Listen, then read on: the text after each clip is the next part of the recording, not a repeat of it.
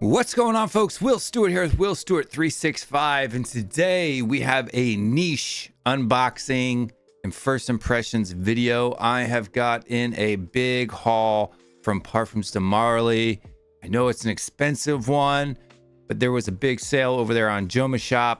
So with tax returns coming in and all that stuff, had to take opportunity to get myself some of the fragrance that I've been wanting to pick up from this particular house so far. I think it's my favorite niche house that I have uh, experienced and or smelt. I have several decanters up there in the corner there from them, uh, but I wanted to pick up some full bottles. So the first one that we are going to be unboxing today is Herod from Parfums de Marly. And this one is in the uh, 4.2 fluid ounce bottle, 125 mil. You know, pick this one up for a really good discount from Jomashop.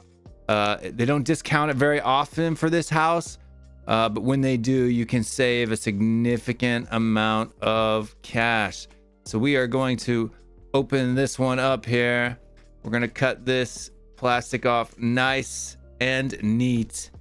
And then we are going to open the box up here. We are going to smell this for the first time. This particular fragrance from Parfums de I have yet to smell. I know that it is a tobacco forward fragrance, but it does look like it comes with a little card inside the box here. Has a little bit of a history of the brand in several different languages, etc., etc. Won't bore you guys by reading that out. Yeah, we're gonna take a look at Herod. So with these, you can pick the cap up, uh, or you can pick the bottle up by the cap rather. And let's see. So it's not it's not magnetic, so no magnetic cap, but these caps are heavy, and they are metal here. Looks like a heavy stainless steel uh, cap. Does click into place and does have a pretty good purchase. I think the cap weighs more than the bottle. am not even joking. But let's take a look at the bottle here. We've got the bottle. The bottle is a matte, or sorry, a high gloss metallic gunmetal finish. You do have the horses there from the Parfums de Marly house. You have Parfums de Marly Paris written there on the bottom. The very bottom, you do have the batch code, the name, the house, and all of those fun informations. The batch code for this particular one is 2342055. If you're into those types of deals on the cap here, you do have a embossed logo with the date of the house 1743 uh, it looks like is when this particular company was established so that's a pretty old house this particular bottle is a fingerprint magnet. You can see that right there from me just touching it right now, even the cap as well. So if that kind of thing bothers you, you will want to have a microfiber cloth handy in order to clean the fingerprints off your bottle.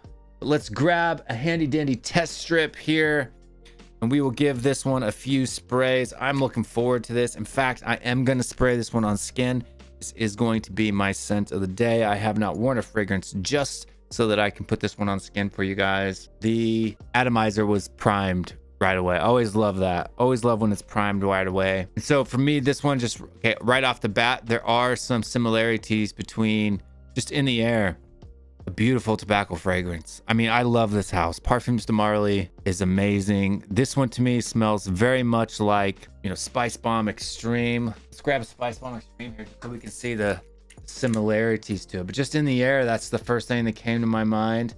I do have quite a bit of, you know, tobacco fragrances. You do have a little bit of a, a, a fruity floral, but spicy. So the Spice Bomb Extreme is going to be a little bit spicier off the top. And they're not they're not similar, like they're not the same, like they're not clones of each other, but they definitely hit the same wheelhouse. I would say that the Herod is probably a little bit sweeter off the top, a little bit smokier, right? Like you're getting that that tobacco which is a really just kind of a rich, almost slightly boozy tobacco cigar shop type of a scent. Like it's, I mean, just off paper, right off the bat, it's absolutely fantastic. So they definitely aren't overlapping fragrances, but they are definitely in the same like wheelhouse, right? Like they're both tobacco sweet fragrances, but the the Parfums de Marly is is better in my opinion, especially just off off the top.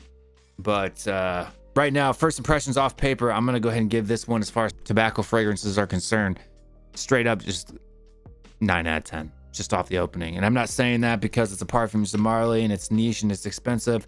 If it wasn't, I would criticize it just like any other one that I have tried. But this one here, we're gonna go ahead and spray this one on skin here. I'll put two sprays on that arm, put two sprays on this arm and we will go, we're going to check this one out because so you do want to let it dry a little bit. I did get a little bit of an alcohol burst there on skin but i always tend to uh, but that i think that's pretty common with any fragrance.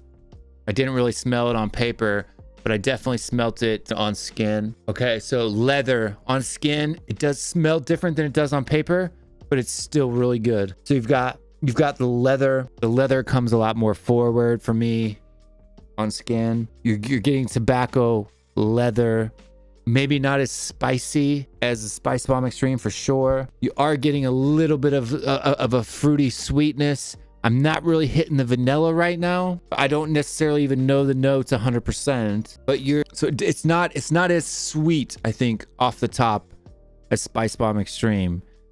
But anything that I've recognized from Parfums de Marly, the dry down is where these things absolutely boss. For me though, even in the opening in this one, it's definitely leather and tobacco forward. But for me, you definitely got, as it's starting to dry down, you're getting a little bit more sweetness. But let, let's take a look. Let's take a look at the notes for the fragrance and we'll see what's going on. So let's open up our Parfumo app and let's open up Herod. So according to Parfumo is an 8.6 rating. Um, I see why that is. It's a beautiful smelling fragrance.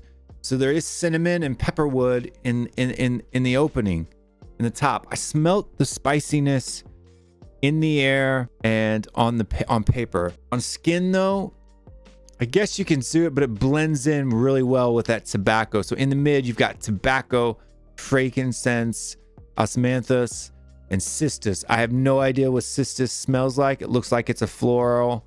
Uh, and then in the base, you have vanilla, cedarwood, cypriol, patchouli, and vetiver. In the vetiver, I'm not really getting a grassy smell, so it's not that kind of vetiver. But the patchouli, there is a bit of an earthiness to it, and patchouli kind of has an earthiness vibe for me in my nose in some particular formulations but this one is is really good it's a really good blend look guys and i can start to smell the vanilla coming through now you know what 10 minutes into this video and it's it's it's a great one. It's a great one. I, am giving it nine out of ten. People on Parfumo there they give it a you know 8.6. I think this is nine out of ten. As far as like I have a Mancera Red Tobacco, I have Spice Bomb Extreme, I have several you know tobacco fragrances and this one is right up there with the best there are some clones of Herod that I am going to be checking out, and I'm going to, you know, review those for you guys too to see how close they get to the actual original. Save you guys some cash. But right now, I'm telling you right now, from my experience, I have Layton. I have four Layton clones as well. Four, four Layton clones. We're going to be doing a comparison sooner on with Layton versus those four Layton clones. And I'm going to tell you guys right now, the original in the dry down is the best. There is a cleanness to it that the that the clones don't match. They smell very similar. Some of them get really close. There's like a pureness in the original uh, that can't be matched. And so that's why I have picked up Herod by Parfums de Marly. Guys, this is great for fall, winter. So even now I'm getting more spiciness, a little bit more of of a fruity floral. Guys, 9 out of 10. If you can afford it, if you can find it on sale, pick yourself up one. Thank you for watching the video. Make sure you hit that like and subscribe. We will see you guys next time. I'm out of here. Peace.